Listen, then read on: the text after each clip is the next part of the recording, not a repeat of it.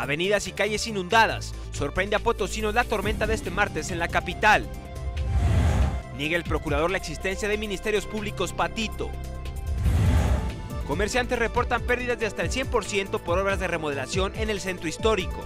Los espero de lunes a viernes 6.30 de la mañana.